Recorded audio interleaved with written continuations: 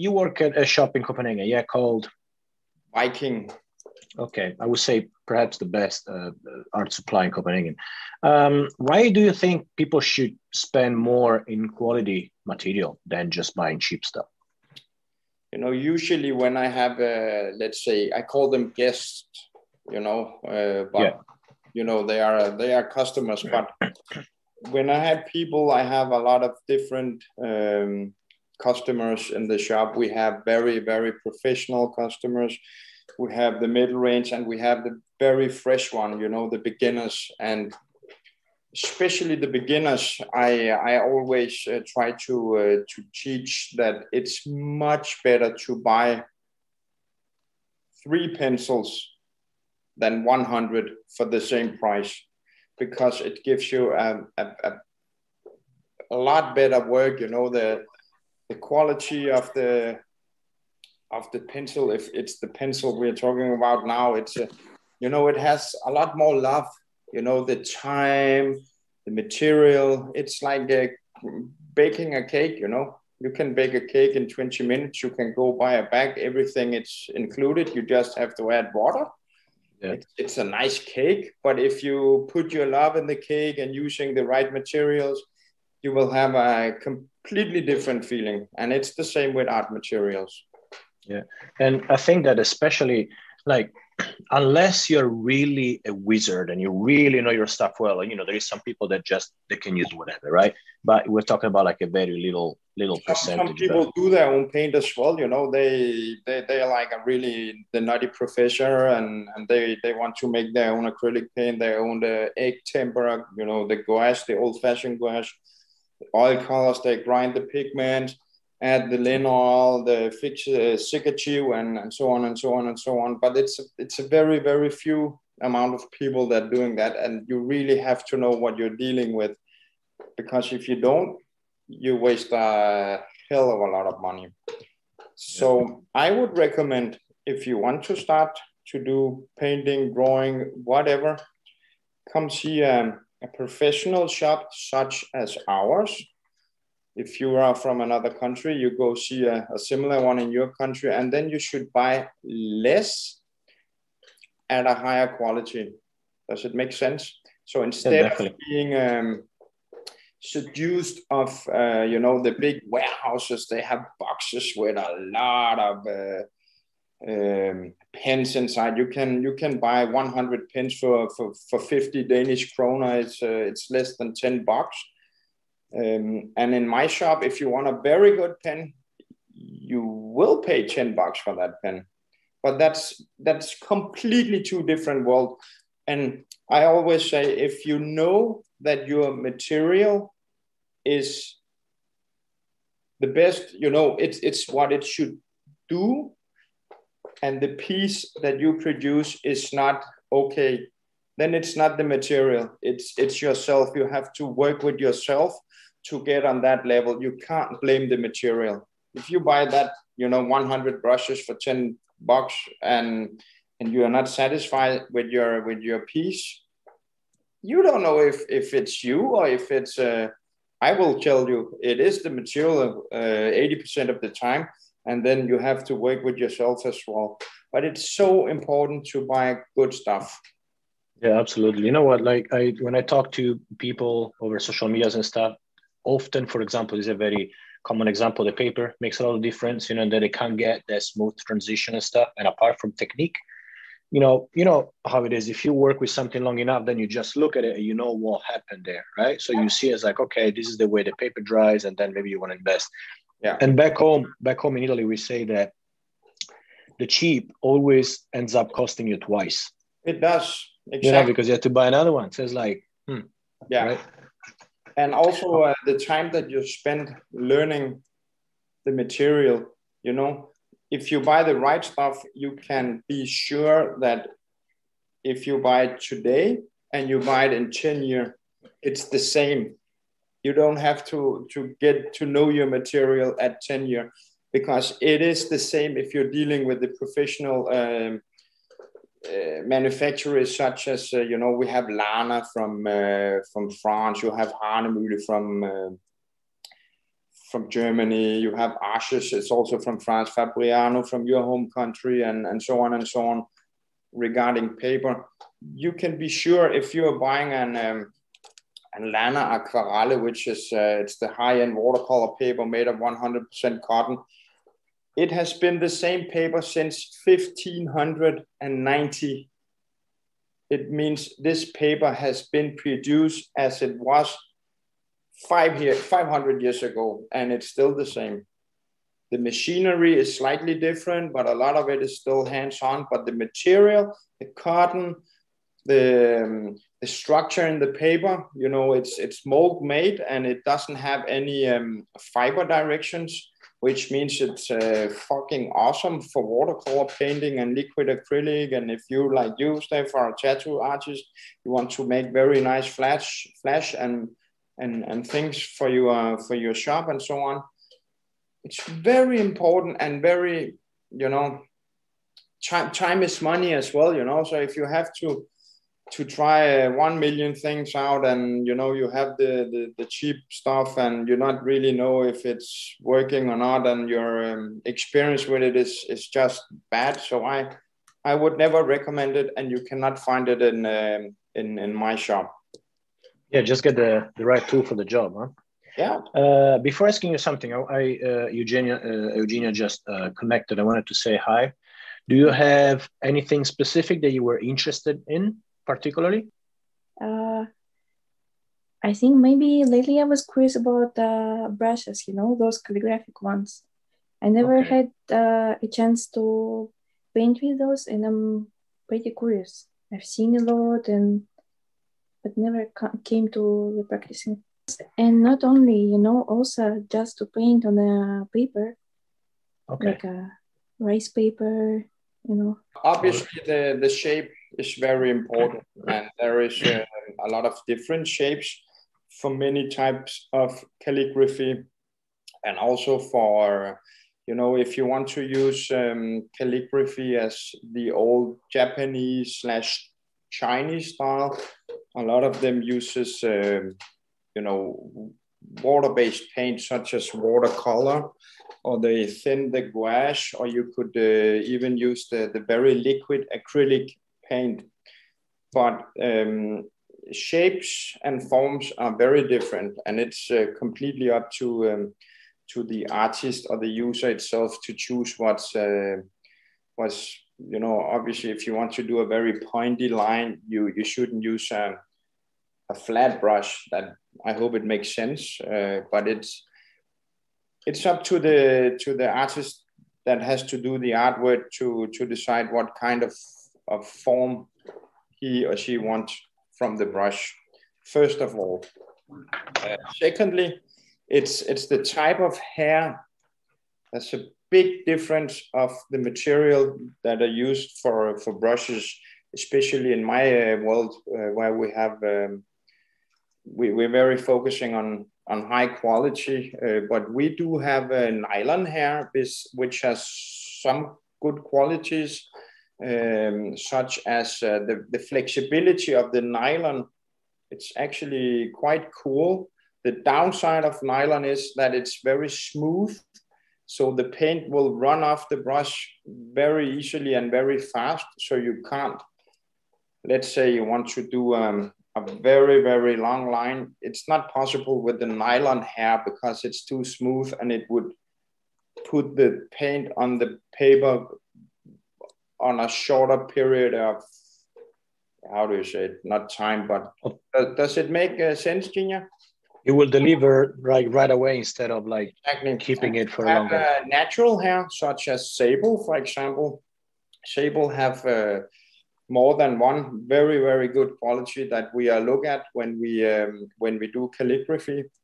It has um, the point there's no different of buying um, a size 8 for example it's a medium size brush or a size 0 regarding the the point you know how thin a line you could do. You can actually make a very very very thin line with a very large Kolinsky sable brush.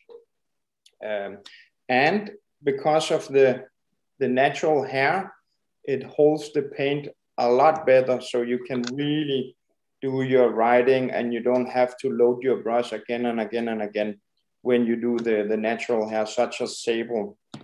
Um, um, a newer thing in, uh, in writing and in, in round pointy brushes is actually the, the squirrel hair. Squirrel has been used for many years, but only in flat brushes because it has the same um, benefit as the as the sable regarding holding the paint and the liquid. Uh, but in, in the past, they couldn't uh, tie it, so you could make a round and and and and good pointy brush. But now they have uh, actually found a solution for that, and the way they have done it is to stabilize it a little bit with some nylon hair.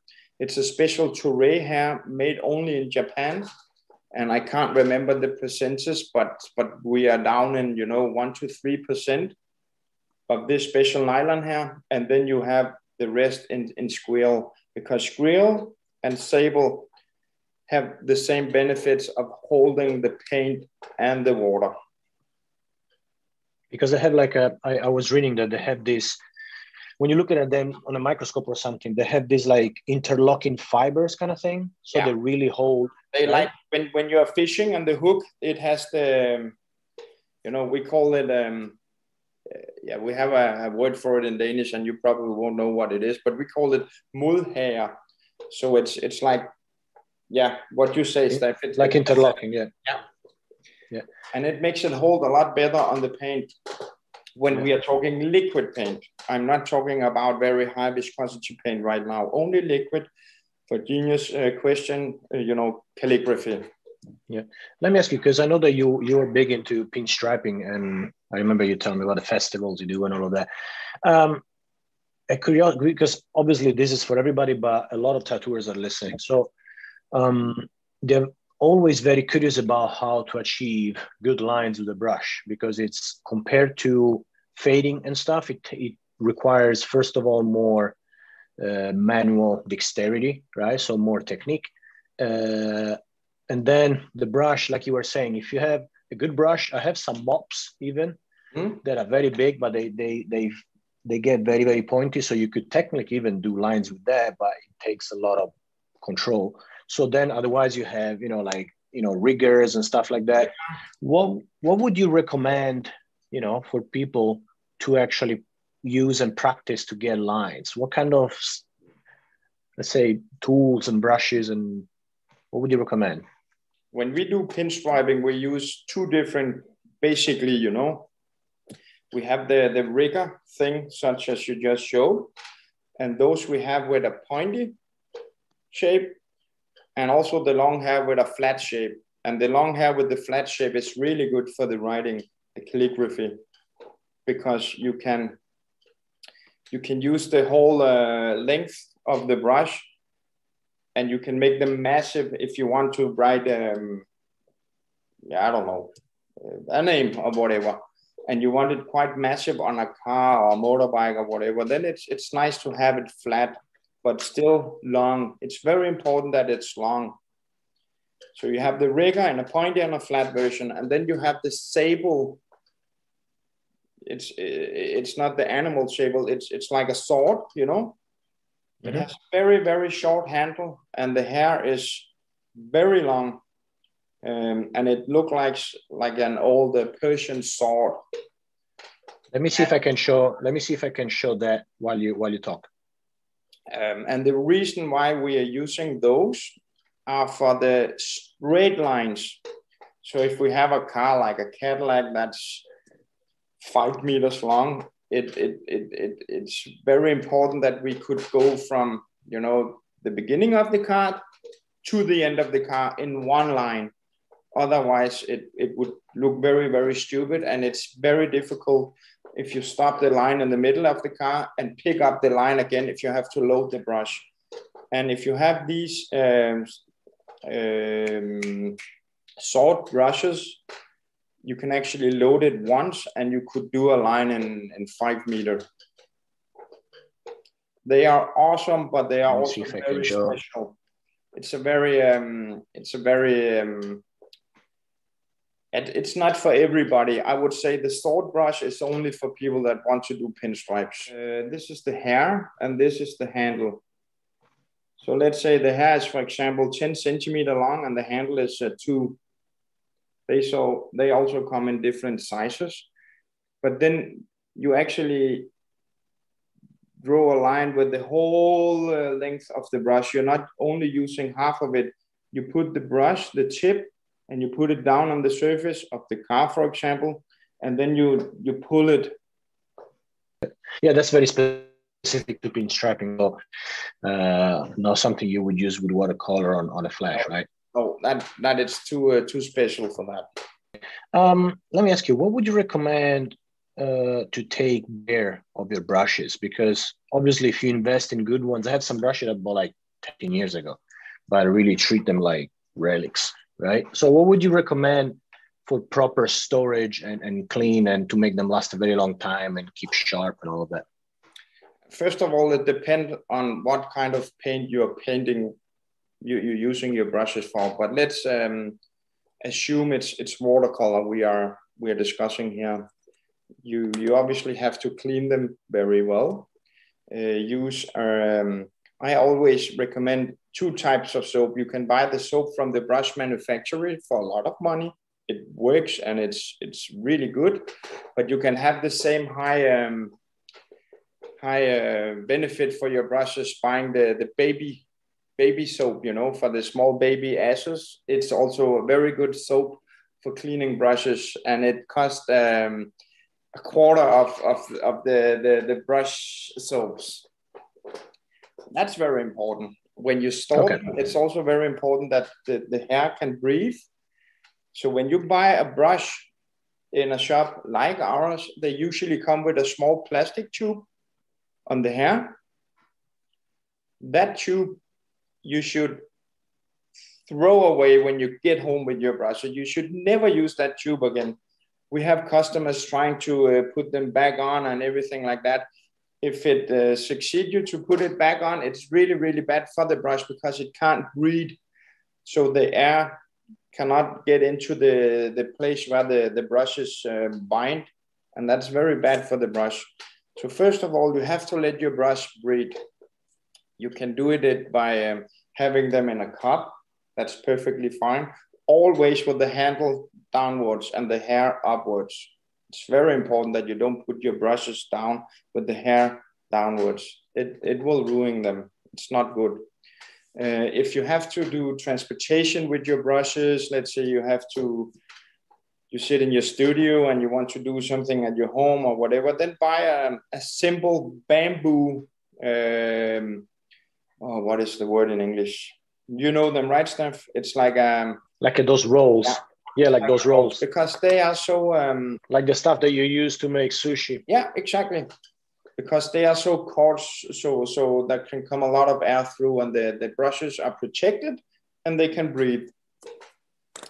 I always recommend when you have uh, used your brush for um, let's say three, four months, and they are a little bit out of shape then you should uh, use the, the, the Gum-Arabic. It's, it's fantastic to get your brush back in the, in the good shape of, again. Gum-Arabic is, is it's really a, kind of like this honey kind of viscosity, right? Yeah, and it's also very good to add to your watercolor if you want to improve the flow of the watercolor. This is an ingredient in a watercolor. So if you are producing watercolors, you know, our favorite factory is Schmincke. I love Schmincke. It's a family owned business from Germany, still the same owner family. The company is from 1881. They do a watercolor called uh. It's it's it's top notch. I, I I believe it's uh, it's the best watercolor paint in the world.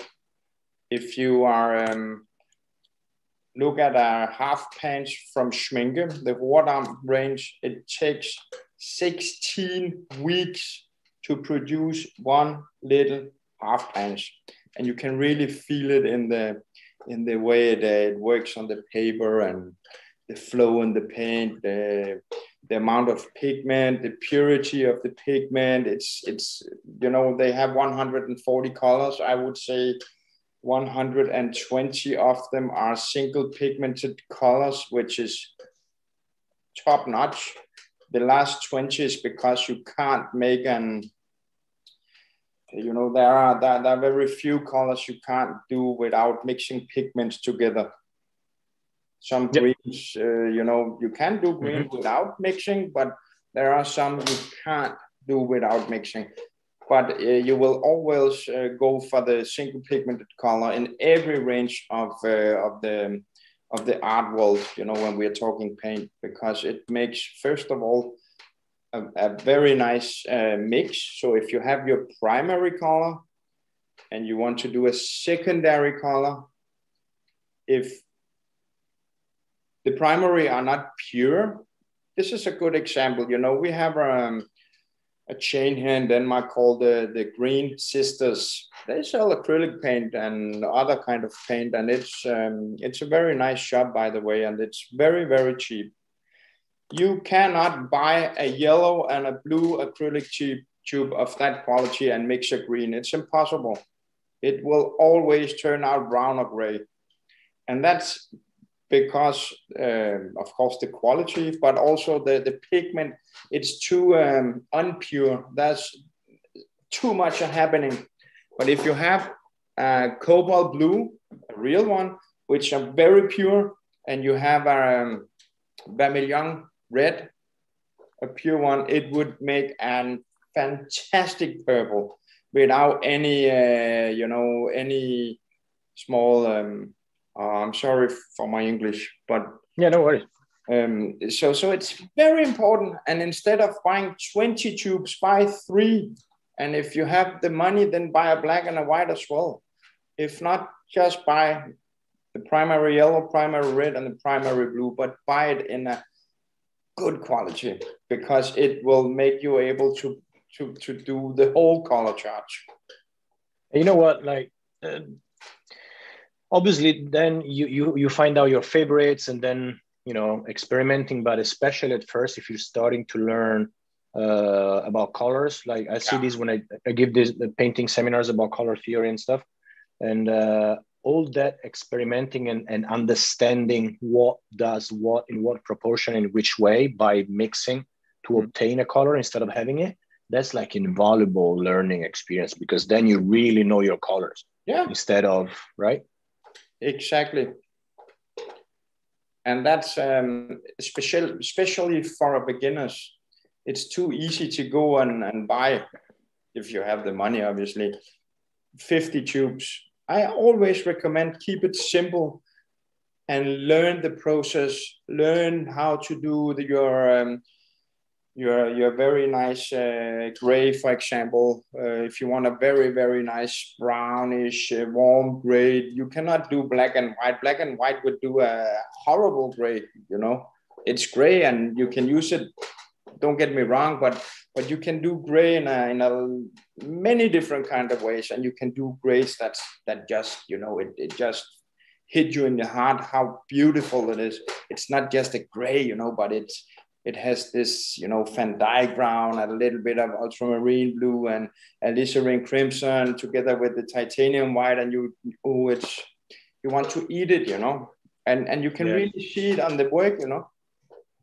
Yeah, when you start mixing your grades with complementaries and you actually get all these beautiful semi-neutrals and stuff. Yeah. And especially if you're using uh, paints like you were talking about the the more traditional watercolor Schmincke one and stuff, they they have a little bit of that granulating quality. Yeah. So you really you see mm-hmm. you see the emotions in that color. It's not just flat. Then sometimes some people look for the flat for certain things, like I do sometimes. It depends what you're looking for, right? But otherwise, you see this beautiful uh, quality. Like like you know when when you if you would talk to a painter like yourself, you know, then he would he or she would tell you that you know all the darks all the grays all the shadows they're not black they're not gray. You know there is so many other colors in there. So that and then you obtain with the quality stuff otherwise it gets like muddy yeah. Yeah and uh, the granulation it's it's a nice tool to it's it's not a tool it's in the color you know and it's the pigment that determines if it's granulate or not.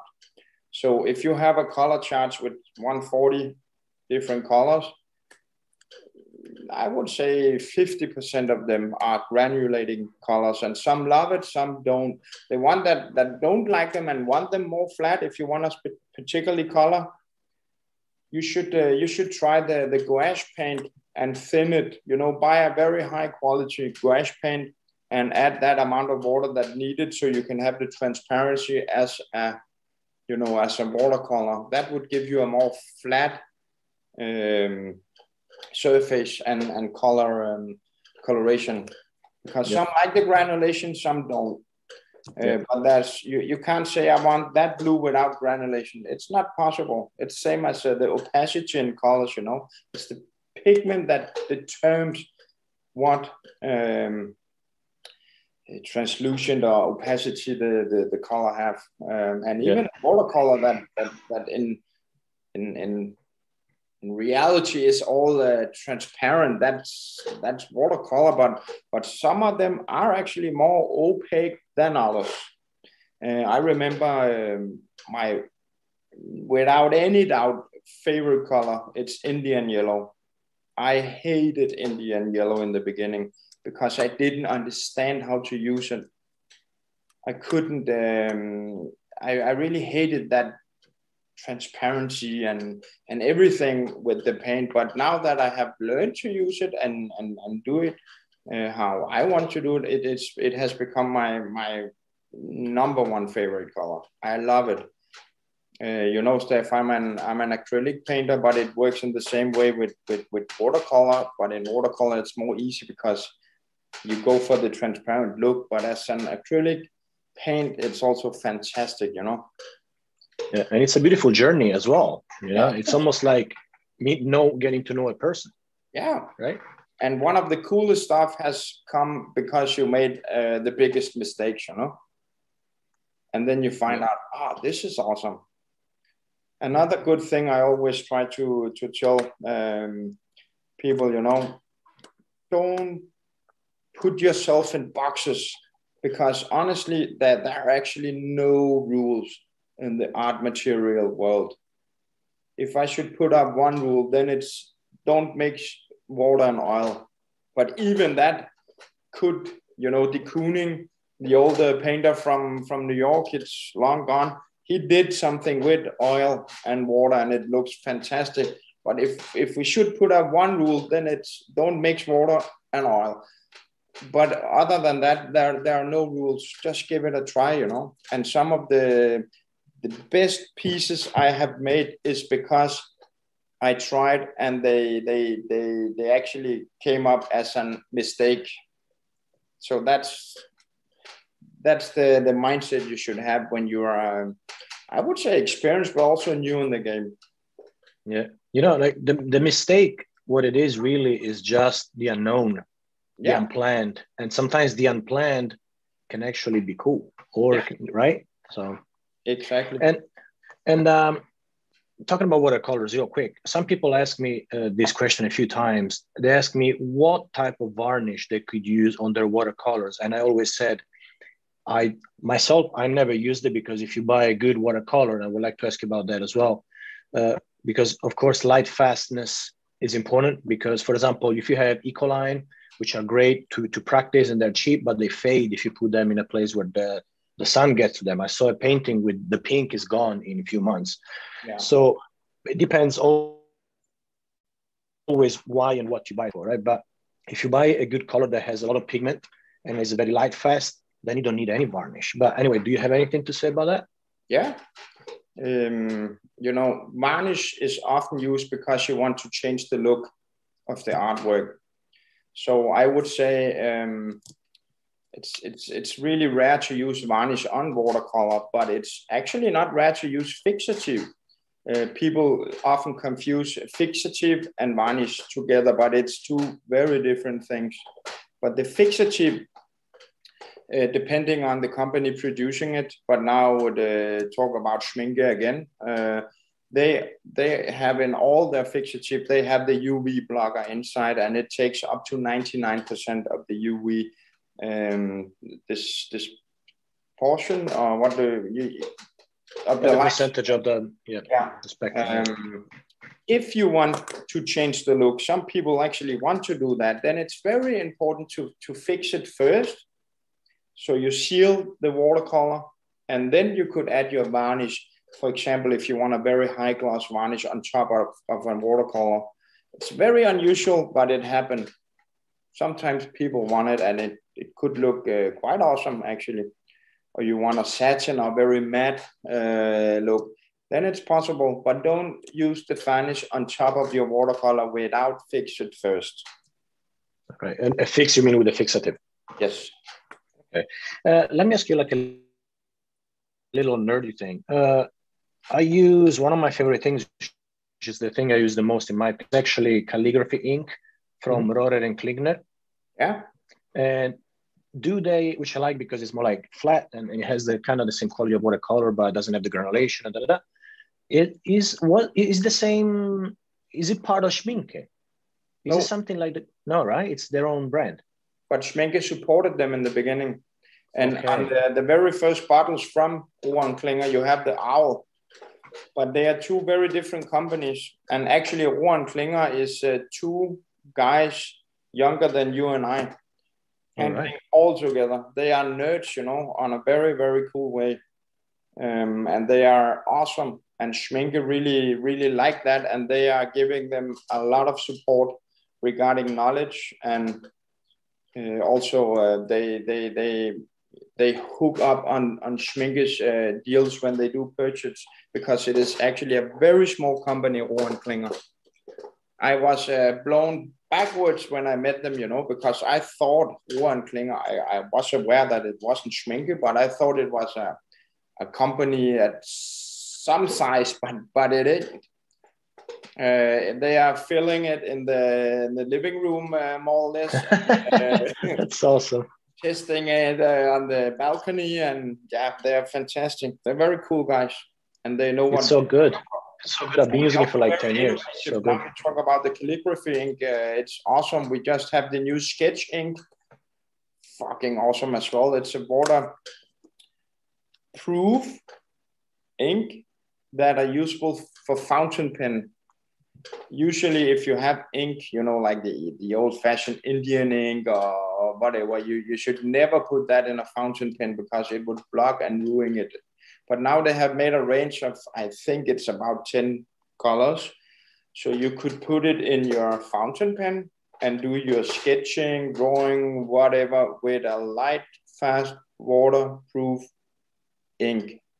And that is really awesome. Uh, is the binder acrylic? Yeah. Um, it's acrylic based. no, not on this one. It ain't. Okay. Um, what happened now? Can you still see me? Uh huh. Yeah, yeah. Okay, cool. Um, they they do um, acrylic based one. That's the that's the modern Indian ink. It's acrylic based. It, it's an uh, uh, emulsion. The other one is on shellac shellac is, is really no go on, on many things, including brushes. Uh, of course, it is for brushes as well, but you really have to be very aware of your cleaning. If the shellac is, is dry, it's uh, nearly impossible to get rid of. Okay. Um, let's switch a little bit to like the other type of material because I guess other people, especially for example, people that do realism and stuff like that, you know, perhaps they use more like color pencils and that kind of stuff. Mm-hmm. Um, you have a very good range of color pencils and you have some stuff that is like very top notch. Would you like to talk a little bit about that? Even like, you know, like briefly, like the main differences between uh, color pencils, because when I come to the shop, let's say, and I'm not too much into color pencils, then I, I see many of them. I'm like, hmm. And then some of them, they feel very dry, almost like chalk. Some of them are very fat. What's a, what's the main difference between those categories kind of thing? Yes, first of all, there, there are many good brands uh, out there. Uh, I must say, same as, uh, as watercolor and oil paint and so on. Uh, we have our favorite in the shop. Um, and uh, if we're talking color pencils, we have been distributing Caran d'Ache for several years in Denmark. Uh, is also a family-owned business from Genève in Switzerland. Um, actually, it was a, a, Russian guy that founded it back in the days. Caran d'Ache is from 1916. So it's it has passed the 100 year. Actually, Karandash is the if there are some Russian looking later on, it, it means pencil in Russia. So Karandash is um, is now uh, it has always been a family-owned business living in um, in Geneva, Switzerland. Uh, they have um, um, several ranges and they have a lot of uh, categories. They have the fine art, they have the fine writing, and they have the office. But in the fine art, you see all the coloring pencils, and they are in, in different categories as well because we have the oil based and the water based coloring pencil. And in these two categories, we also have different grades. Uh, the two most common one in both of them is in the oil based. It's the Pablo. Pablo is awesome. I love Pablo. Um, and then you have the luminance in the water based, water soluble. It's um, it's Supracolor, and you have Lum, uh, museum. And um, if we take the oil-based one, and you have to make a decision when you are buying a color pencil, how do you want to use it? Because obviously a water-based uh, color pencil can be used as a dry pencil, but also as watercolor paint. So you could uh, do your drawing, you could um, take your brush and wipe it out, and then you have a, a, a watercolor um, paint. Um, it has um, a little bit of a downside if you want to use it dry. So I always recommend watercolor for watercolor. But if you want to do a dry painting or drawing, you should go for the oil base because those you could use layer on layer on layer on layer on layer on layer on layer and really create a depth in your drawing, which you can't do with, with a dry water-based pencil. It's impossible. You can't do the same thing. Uh, my favorite is Pablo. It's actually the cheapest of the two but I really like the, the granulation on Pablo. I like the hardness on Pablo. I like it, uh, you know, the way it, it, it, it works on the paper. Um, a lot of people like the luminance. Luminance was actually a challenge in the beginning because you had, um, you know, this business uh, that uh, conservate paintings. Mm-hmm. Yeah. If you had an, a very old Rembrandt, sketch and you had like to, restore like restore kind of thing yeah they needed a product that they could guarantee a minimum of 200 year that the paint would last nobody had it in the world and Caran d'Ache said we take up the challenge uh, the, the challenge we, we will try to make this uh, happen and they were um, working on it for nearly 10 years and then 15 years ago, the Luminance uh, hit the market. And it's, uh, it's also a fantastic uh, color pencil. It's, um, it's a lot softer than the Pablo, and it's a lot more uh, tight. It doesn't granulate at this and on the same way. I will show you next time I show you in the shop, Stef if I hadn't yeah. done it before. I think I had. But it's, yeah, you show uh, me something, yeah. Yeah, and it's um, it's a very, very, very, very light fast pencil. So if you had an old uh, Rembrandt or whatever, you know, sketch or drawing, you can um, you can use those as a, a restorator wow. and, um, and and and do it. We sell it Do you want to a lot. Of, I, I say, you know, you have to feel inside yourself. You like it, uh, not the hard way or the or the soft way, but you know, try try them in our shop and i think it's the same at other shops but we always allow our customers to try so they know what they're buying because it's very important i can recommend what i like i have a big big love for pablo i really love it and i tell people why i love it when i draw with it but i have also a lot of people after trying luminance they say i'm sorry michael but i go for the luminance because that's really my thing you know so that's the wonderful thing of being a human being. We we are not the same. Yeah, you gotta try. Yeah. Do you want to say that thing that you once you told me a little story about why it's called Pablo and a specific color that was created? Something about like uh who was it? Was it Picasso? There was a specific color that no that what uh, that wasn't the, the color pencils that's another thing it's the, it's the oil pastel from Sennelier Oh yeah, the oil pastels. Yeah, yeah, yeah, yeah. yeah not the color pencils. It's uh, it's Sennelier. It's a French brand. Um, Caran d'Ache also have the oil pastels. Sennelier or, or Caran d'Ache oil pastels is is the same level. It can't be any better. They are they are amazing. Um, but I love Sennelier because of the sizes. They have like big cigars, you know, they look Havanas. Um, and Caran d'Ache, they're slightly smaller and also cheaper, of course, because you're having a lot of less amount of paint than in the Sennelier.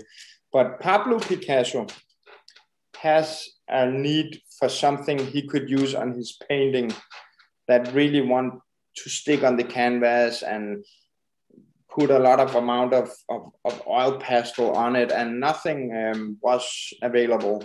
So Sennelier got in touch with Pablo Picasso and they invented the Sennelier oil pastel together and it, it is today what it was when they started. And if nobody have tried it, give it a try. It's fucking awesome. But just tells you a lot. pastel is really amazing.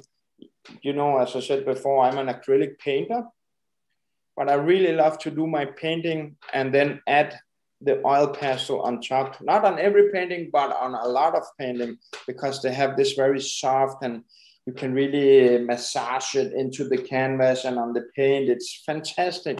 Should give it a try. Everybody should try it because they will fall in love. Awesome. That tells you a lot about the knowledge that went into actually crafting that product, right? Yeah. Damn. And um, what about something more towards like the illustration side? You know, like markers and microns. What what's the thing that you would recommend for that? You know, there is a lot of different brands on the market. I would say 90% of them are more or less the same. Um, you know, we have the Micron, it's Sakura from Japan. They, they, they make the Pigma version, the Micron. We have um, Rotring from Germany. We have Staedtler from Germany. We have Montana, Germany also. We have Pilot from Japan. There's a lot of brand out there. Um, actually, they are uh, the thing is, in the in the old days, we have this uh, very special uh, needle tip drawing pens where you where you draw it with the Indian ink. It the was nib, right? Yeah, the needle nib. It yep. was uh, Rotring was the the most uh, known brand. They have the Rapidograph and the Isograph. They were um, they were measuring. If, if it says 0.18, the line was 0.18. So it wasn't 0.17 or 0.20. 0.18 was 0.18. So all engineers, architecture, before the computer, they do all the drawing in hand with this drawing instrument. It still exists today, but in a very, very um, compromised um, very uh, like a niche. Yeah, but it it's uh, it's it could be a gift and it could be really a hell depending on who you are because it takes a lot of time cleaning it. If you're not cleaning it it's ruined and it's a very expensive drawing tool. It costs you from $50 and up wow. Then it's refillable obviously but if it's if if it dries it's ruined you have to put it in the garbage buy a new one. But they they were uh, measuring proof so if you um, if you had to do a house in a certain scale you could count on this line but it was also as i said very difficult and um, you know it takes a lot of time cleaning it and and things like that and that's why we have the Pigma microns today and all the other stuff. And they are also in a measuring, you know, you have the 0, 0.5 and, and so on, but they have never been the thickness that they are told they should, they, they, they are not fast. You you getting it? Mm-hmm. Yeah, they're not so.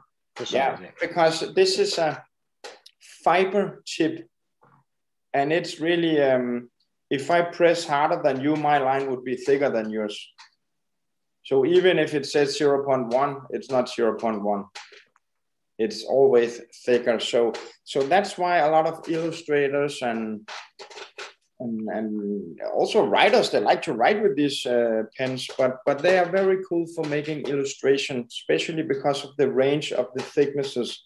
You have a broad one for the outline. You have a very thin one, so you can do your your shadow you know you do lines and then you have the shadows um, and they are also working very very well with Copic for example alcohol based markers it's um it's a thing it it's in it's itself you know and if we have to go back to the to the opening buy the good stuff instead of buy the, the cheap crap because it won't give you any um, nice uh, paint works, you know. So buy two Copic markers and spend the twenty dollar on that instead of buying a set with with one hundred and and have some cheap shit because it will make lines in your in your um, color layering. a Copic won't, you know, you can have it very smooth and everything like that. They're refillable.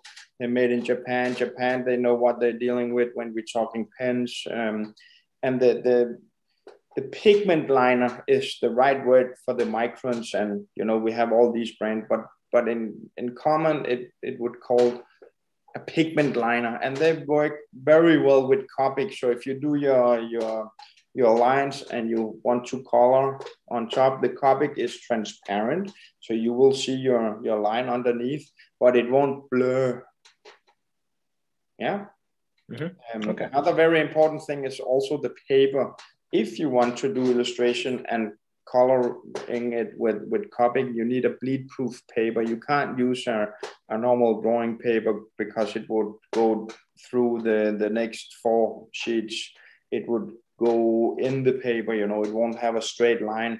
So you need bleed proof paper if you want to do coloring with, with alcohol based markers. We all know it from the school as well. We have these Sharpies, uh, pilot pens, and so on. And we did a nice drawing in our little school book, and uh, it went through to the next three or four pages. and that's yeah. because uh, normal paper, and it, it could be very good drawing paper, but it doesn't have the coating so that's why you have to, to use the right paper for the right project and the, the right material. Yeah. Same as with awesome. watercolor, you shouldn't use a drawing paper with, with watercolor because the watercolor would make it bend a lot because it, it get wet. So that's why we should use a, a cotton-based, you know, mold made, um, or, or use a cellulose made on the right way, contain the right amount of glue and and so on and so on. So that's that's important. Okay. And that's why people uh, see me or my colleague in the business worldwide. It's it's it's it's you know, it's what you get if you go to the right places. You know, you can have a nice explanation instead of buying uh, five cheap pads different places, but they really don't know what to sell you when you ask for a specific thing. So so come see a professional. It would make your life a lot easier. Definitely, definitely. Yeah, I'm, I'm a big fan of that. Um, I'm going to ask if Je- uh, Eugenia has a, a, question, and then I'm going to ask you just a few questions, and and, uh, and I'll let you go. Uh, Eugenia, do you have any questions about something specific? Uh, I hope I didn't miss it, uh, but maybe I also was curious about acrylic inks. Mm-hmm. Any Acrylic for uh, for uh, watercolor paper or rice paper. Mm-hmm. You know the pigments. Acrylic uh, ink is um, is originally made for airbrushing. It's uh, you know mm-hmm. we have uh, acrylic paint as we know it today was invented by a company in the States called Liquitex they invented acrylic paint in 1955, as we know acrylic paint today. And the reason why it it was invented is because of all the, the house painters, they were dying from the very toxic uh, wall paint that they were using back in the days. That's why they tried to invent a more healthy paint to paint houses with. Uh, by a mistake, oh, you can't call it a mistake, but but actually, then back in, in 1955, the acrylic paint as we know it today for art, you know, making art was invented. Uh, later on, back in the um, 70s, early 80s, um, you had this uh, thing called airbrush. You know what airbrush is, Gina? Yes, yes. Yeah. Uh, a lot of illustrators before the computers could make incredible artworks with airbrush. A lot of the custom painters were using airbrush for the for the choppers and the cars and whatever. And they needed a, a paint that could go through this very, very, very thin nozzle on the airbrush. And if they tried to squeeze on a heavy body acrylic paint as we know it back in the days, it wouldn't simply work. So, um, as I heard it, Schmincke was the first one to invent acrylic colors as a liquid acrylic ink for airbrushes back in the in the late 70s. It was the first liquid acrylic ink, and as I said, it was made for airbrush. But uh, a lot of artists uh, found out that this liquid acrylic ink made as an uh, emulsion, you know, that's the way they did it, was fantastic uh, for. Um, for ink, for example, acrylic, uh, it was. Fan- I use it a lot as a you know i i do um i throw it on my canvas and it explode and it makes some nice uh, things sometimes i wet my canvas before i paint it and on the wet surface if i if i just you know sip some acrylic ink on it it would make some very very awesome things on it and the same things you could do on paper as well if you try to do a wet on wet painting with the acrylic inks you will see some very nice magic happening but this acrylic ink can be used for calligraphy. You can use it on rice paper. You can use it on watercolor paper. You can use it on on uh, on canvases. You can use it on cardboard. It could be used on wood. That's honestly not anything you can't use it on besides any oil surface. It wouldn't. It won't be adhesive on oil based surface. You could use it on an oil painting when the oil painting is approximately 12 year, uh, 12 months old because then it's really dry through then it's okay to use um, acrylic ink on top of it but not mm-hmm. before mm-hmm. uh, you have to be very careful regarding cleaning after using acrylic ink because it's not the same as, as on watercolor it doesn't matter i won't recommend it but it, it doesn't matter if you forget to clean your brush after you do a watercolor painting mm-hmm. it can easily be cleaned out, but you can't clean it out when it's dry with the acrylic ink. Mm-hmm.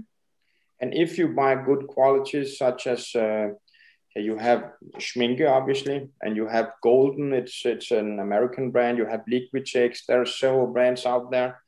They are they are also very pure in the pigmentation, so you don't need a, a big battery of, of colors. You could actually mix with uh, with very few colors. And as uh, Stef and I was talking about earlier, we have um, these two young guys from Germany. The brand name is Rohr and Klinger. They, they make a modern drawing ink. It's also acrylic ink. Mm-hmm. And it's a t- generally more opaque, right? Sorry? Generally, I find it to be more opaque than watercolors, right? So it, you have to keep that in mind. It's a lot more opaque, yeah. Yep but there, but there's different you know in the line there could be different within the colors. Some some colors are um, transparent still mm-hmm. more opaque than watercolor and some are more opaque. But you can always see the information on the bottom. You have a square mm-hmm. on on the ball and it doesn't matter what brand it is. It's it's even a square or, or a circle. If it's black it's opaque. If it's white it's transparent Mm-hmm. If it's white with a with a line, mm-hmm. it's semi-transparent. If it's uh, white on uh, one half and black on the other half, it's semi-opaque. So mm-hmm. that's what that means. And then you have the the stars. The stars are for the light fastness. So so uh, more stars is equal to more uh, light fast. Mm-hmm. Awesome, awesome. Thank you very much. You're so welcome. much information. I'm gonna just give you a couple of more questions and then I'll let set you free. Uh, a lot of people ask about masking fluid. Mm-hmm. And I tried, it, it, sounds funny because it sounds like uh, Schmincke is paying us, but it's not. It's just that you try and then it, that's what is best. I got some masking fluid from Schmincke. Uh, I really like it because it's easy to, to, to apply and easy to remove. So some people have been complaining, oh, I put this masking fluid, then you rip off the paper, which I don't find it you have any recommendation with it or how people should use it or just buy a good one and that's it? No, there is some rules uh, attached to it. Uh, also, yeah. uh, which obviously buy a good one because then you are 50% of the way. But it's very important that that the paper is, is geared up for the masking fluid. It's not all paper that, that that is. We make our own paper in miking. We have a line called Miking Irish it con contains 50% cotton, 50% cellulose. The way this particular piece of paper is, is glued and how the surface is, it's very open, the surface. It does it not compatible with the masking fluid. It won't work. So that's very important. First of all, you have to have a paper that are suitable for masking fluid. Second, like watercolor paper, like 100% cotton, they work fine, right?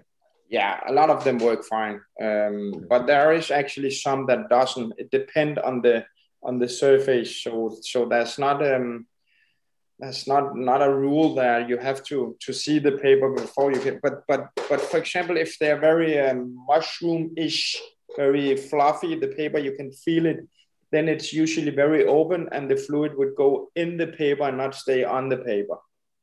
And that's the problem. So if it's in the paper and you wipe it off, it would take off the paper. That's uh, mistake number one.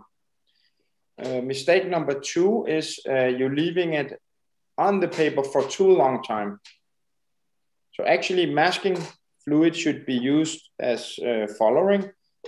You have your paper, you do your masking, you do your drying. A lot of people use hair dryers because it goes faster, but otherwise time will make it dry faster. Then you do your watercoloring, then it's dry, and then you peel off the masking fluid. It shouldn't be on the surface for more than 48 hours. That's a no-go. So if people have had it for a week, it would tear off the paper. So you have a time uh, lab uh, for 48 hours when you have applied it and you have to remove it. All right. Very awesome. important. Yeah, because a lot of people ask about that. And um, an oil painter asked me, uh, what's the most stable and lasting surfaces, type of surfaces to oil paint on, apart from canvas? It could be many things. It's it's the way you prep it. Uh, you could paint uh, on on wood. You could have a um, a board of wood. You could actually have a, a thick cardboard. If you use cardboard, you should um, be aware that that it would go like a bow. You know the arrow and bow. Mm-hmm. Mm-hmm. If you're not uh, paint on the backside as well, so it would stretch. It, and that's the fiber and the cardboard that doing it.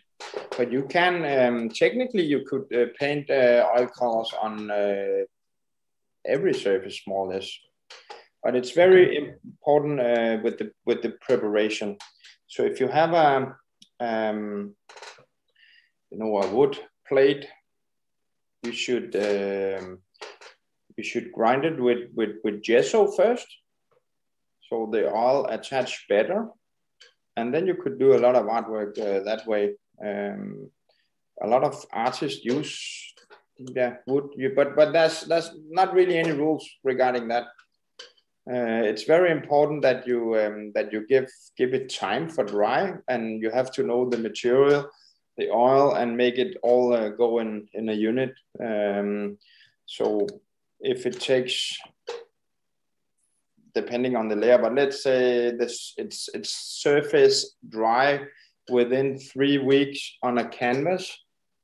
It could take longer time on wood and it could take less time on, on cardboard or fabric or whatever. But but fabric it's it's it's actually the same as canvas.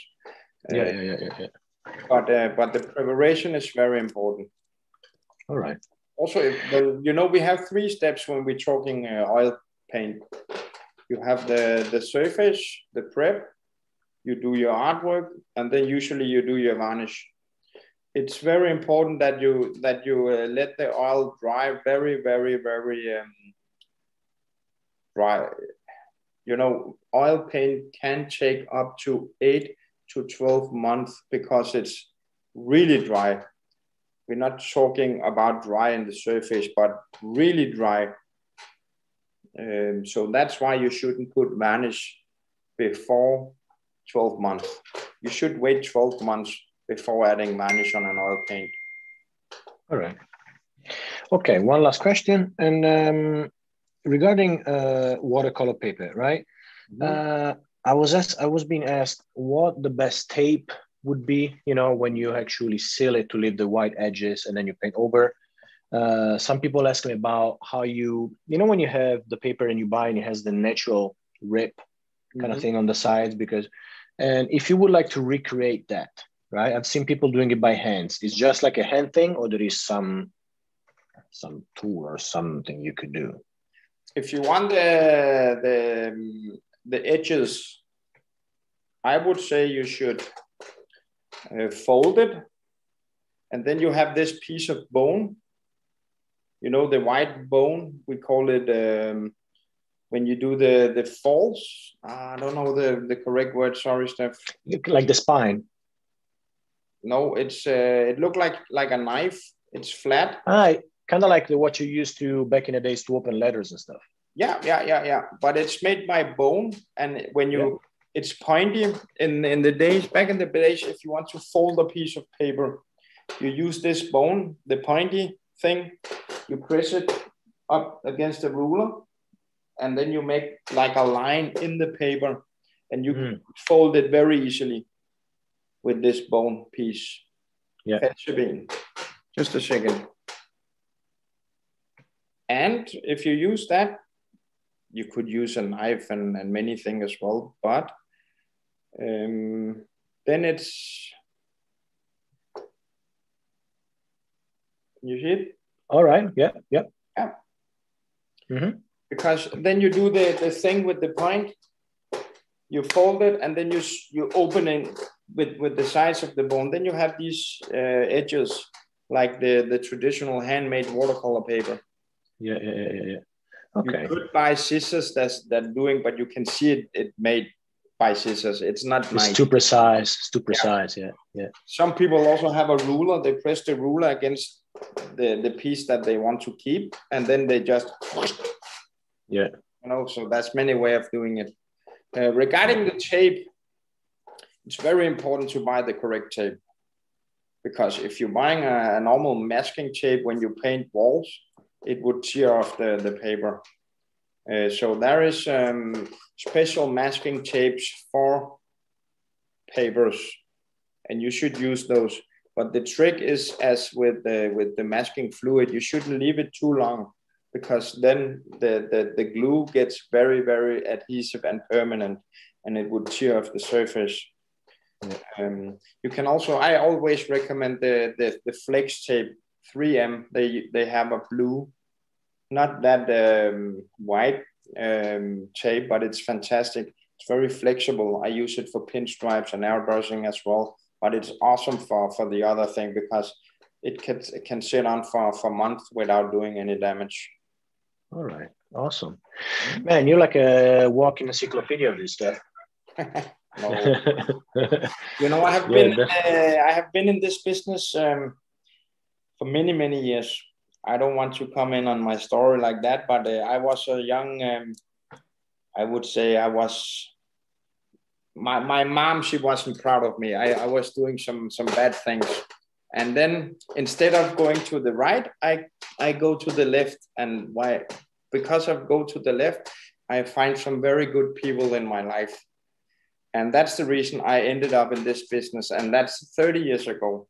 I've been in my business for 30 years. So I, I always saying to people that that are very nice to me as you are, Stef, and, and really say how good I am. I say if if I wasn't a little bit good, then I was uh, then I was too stupid because I have been here for 30 years. awesome. But I love it, you know. I this is my business. I it's my life, and I love it, and that's why I'm I'm really interested in in in these things. And there's always something new to discover. It's like a never-ending journey. It's so nice. They, and they make a new thing, and you're like, oh, you become nerdy about it. It's I love it. And it's uh, very awesome to be on project that maybe be um, you know we have some very uh, very cool artists in in our shop selling paintings for a lot of lot of money. And I, I i think it's cool that i have helped them participating that painting you know. They ha- i i'm responsible sometimes for for why it's it's like that. And that's yeah. a really um, it's better than drugs i think. Absolutely and when her majesty the queen comes and say hey michael can you help me with uh, with this uh, thing i need some special and and when I can help her, it's also wow, it's fantastic. We have yeah, uh, not many people can say that. You know. Oh, I, I actually get letters from the Queen. She sent me two. You know, thank thank you letters. It's awesome. nice. we got them framed. Sorry. You got no, them framed. No, no, no, I'm not. Uh, I'm not flashing them. I'm just. Yeah. So. Nice.